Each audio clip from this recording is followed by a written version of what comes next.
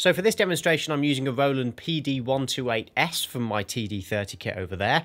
And all I've done is plugged it into one of the four trigger inputs on the back of the Pro. Now you'll notice that they're numbered 1 to 8, and I've gone into 1 and 2 there. Now why is it 1 and 2? Well, this is a dual trigger input, as many of them are, and so this takes up two of the available 8 inputs. So once you've plugged in your external trigger, you'll see that once you've hit it, it's going to illuminate number one there on the trigger inputs. Now this is a dual zone pad, so if I hit the, the center, then it's going to give us pad one.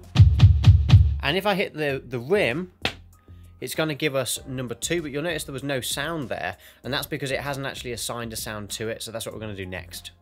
So what I've just done is gone to one of my own custom patches, Hybrid Scar, and this will have no current sounds assigned to it. So wherever I play, it's going to have no sound at all.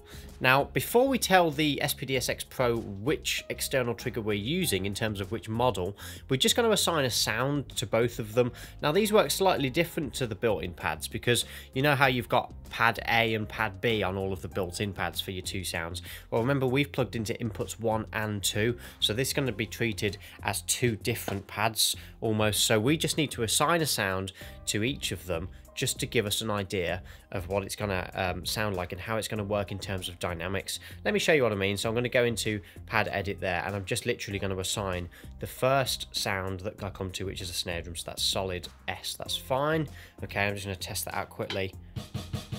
Perfect. Now, if I go to pad 2 by hitting the rim, there we go, we've got pad two. Wait for my camera to focus, lovely. And then what I'm gonna do is I'm gonna add a side stick sound or a cross stick sound to that. Now I've already filtered through, so let's just go through there, find a nice cross stick sound. Um, which relates to that. So we've got solid cross stick. Perfect. Now if I just play that, we should have, I'm not going to play it as a cross stick, but so now that we've got a sound on inputs 1 and 2, we're going to hit exit and we're just going to go over to system and this is where we're going to tell the SPD-SX Pro what type of trigger we're actually using. So if I hit enter there, I'm going to scroll down to trigger type and then I can just go across and I can find the trigger that I've got which is PD128. So this is where we can sort out that sensitivity issue. You can see when I hit the pad, like I said earlier, it's not really triggering every time. There you go. If I hit it too softly, nothing happens. Okay, so we're going to sort that out right now. The way we're going to do that is by going down here. We're going to go to threshold and we're going to lower that. And I'm actually going to lower that all the way down to 1 to start with. Okay, let's see how that is now.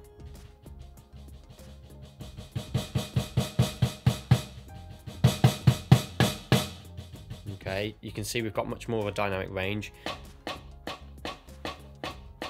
And I can play that rim as well and that's going to work perfectly. There we go. So now we've got a fully functioning external trigger on the SPD-SX Pro. If you'd like to see more videos about the Roland SPD-SX Pro and other electronic drums, then be sure to subscribe and make sure you check out this video if you'd like to find out how to connect a hi-hat to the SPD-SX Pro. I'll see you next time.